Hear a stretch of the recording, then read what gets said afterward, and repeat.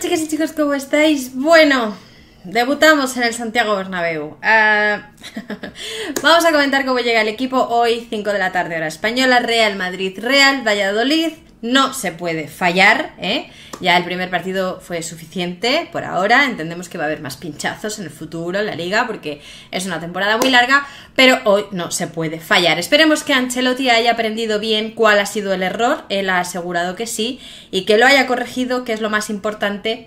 Ausencias hoy de Bellingham y de Mendy y lleno total en el Bernabéu para recibir a Mbappé. Mbappé que juega por primera vez en su casa, en la que va a ser su casa durante los próximos años. Vamos a comentar alineaciones y por supuesto mi pronóstico. Venga, empezamos.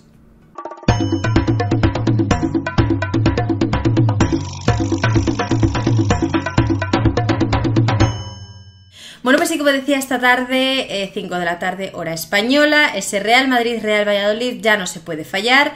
El primer partido fue tanto decepcionante porque veníamos todos con muchas ganas, con mucha ilusión por el fichaje de Mbappé, a pesar de la marcha de Cross, que es complicada, que se asume, pero es difícil de reemplazar, prácticamente imposible.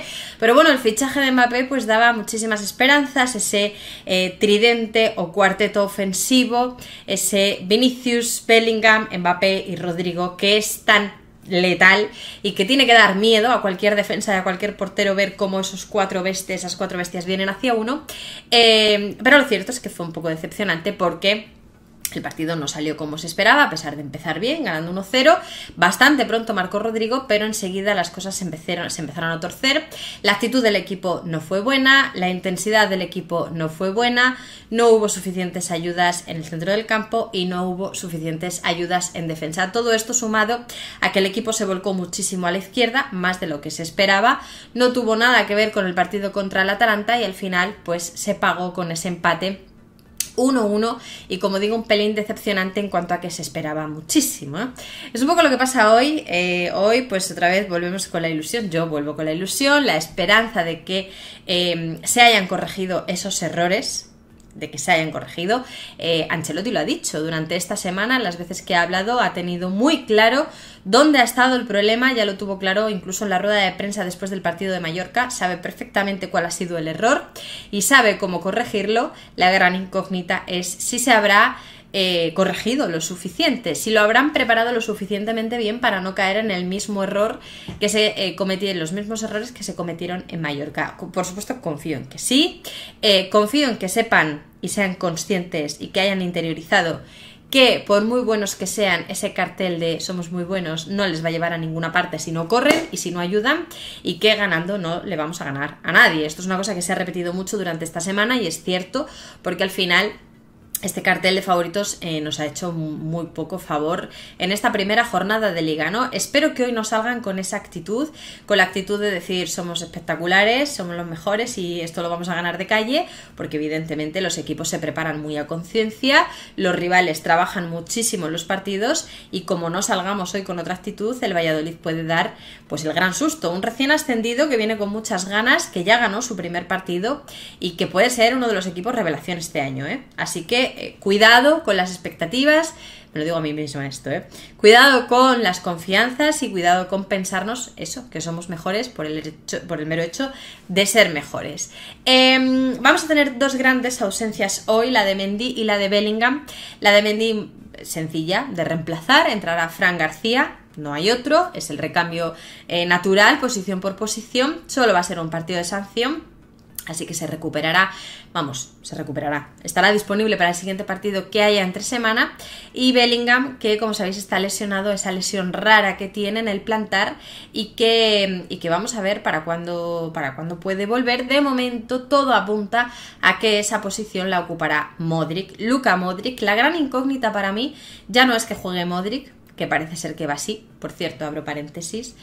Eh, no me gustan las faltas de respeto. Os lo digo de verdad, o sea, y menos con un jugador como Modric, que es un balón de oro, que lo ha ganado absolutamente todo, que tiene el récord de trofeos ganados con el Real Madrid, que es una leyenda absoluta del Madrid, que siempre ha sido educado, que siempre ha sido amable. No entiendo las faltas de respeto hacia Luka Modric, no entiendo que se diga que es un abuelo que se arrastra por el campo, no lo entiendo porque además eh, no, no, ha hecho, no, no hizo una mala temporada, la temporada pasada tuvo que asumir ese papel de suplente y lo asumió, Costaría más o costaría menos, pero cuando salía en las segundas partes cumplía, sabía ponerle esa pausa que se necesitaba en ese momento, sabía eh, eh, crear jugada como se necesitaba en ese momento. Es un chico que siempre, siempre rinde, siempre cumple y no entiendo las faltas de respeto hacia Modric. Me gustaría no tener que leerlas, yo sé que hay libertad de expresión y todo esto, pero... Em, no entiendo la necesidad de decir que por qué mete al abuelo de Modric para que se arrastre por el campo, ¿no? Son cosas que no comparto en absoluto. De hecho, eh, Modric es de mis jugadores favoritísimos de la historia y, vamos, eh, yo puedo estar más a favor o más en contra de que juegue o de que no juegue. Em, puedo preferir que juegue Arda en un momento dado. Puedo considerar que Luka Modric no está para 90 minutos. Incluso en un partido puedo considerar que no, es, que no está bien y que debería ser sustituido. Pero debería faltar el respeto qué necesidad, ¿no? Es que no, no, no lo entiendo muy bien, la verdad.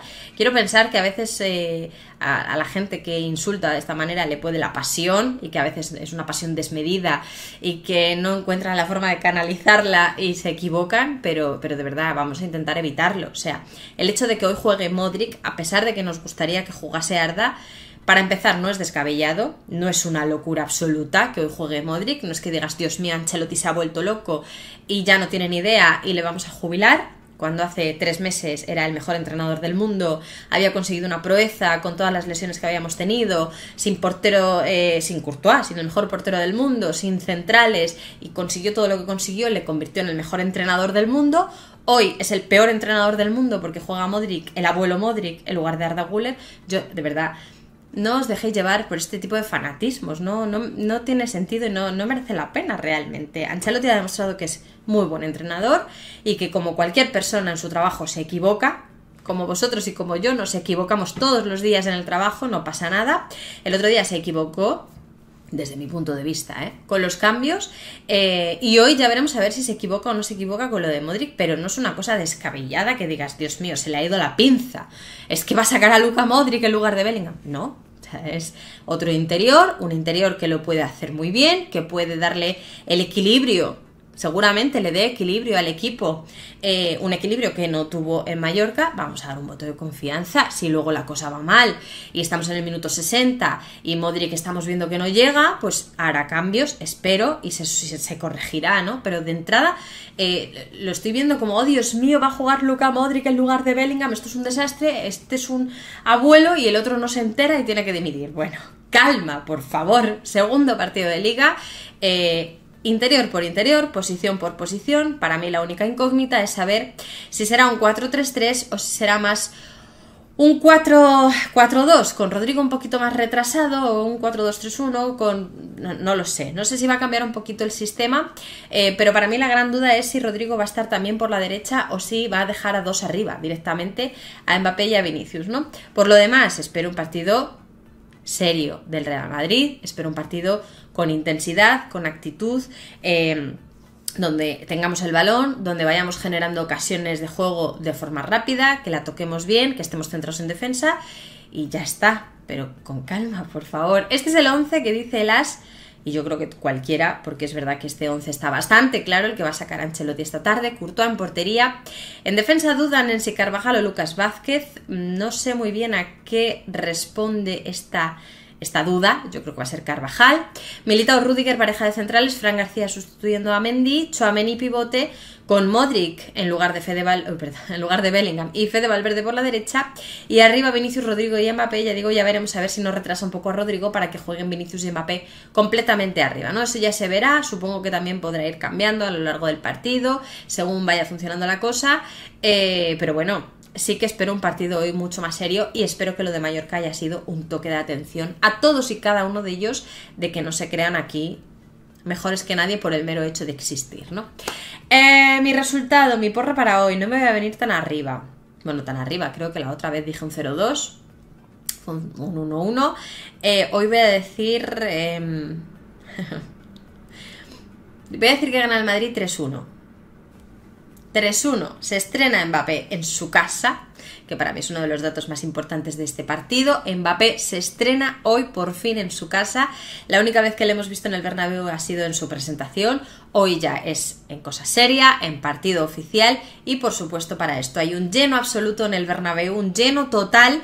Va a estar completamente arropado por la que va a ser su familia durante los próximos años y evidentemente creo que va a ser una cosa muy recíproca. Creo que el propio Mbappé estará muy emocionado de su primer partido en casa, su primer partido ante su afición y que la afición va a estar encantada con el primer partido de Mbappé eh, con la camiseta del Real Madrid en el Bernabéu. Creo que todo va a salir bien, quiero ser positiva, quiero pensar guay, así que 3-1 eh, es mi porra, quiero saber qué opináis vosotros. Por supuesto, después del partido nos vemos aquí las caras para comentar todo lo que pase, pero de momento dejadme en los comentarios qué os parece y por supuesto dejadme un gran like, suscribíos al canal si todavía no lo estáis y nos vemos en el siguiente vídeo.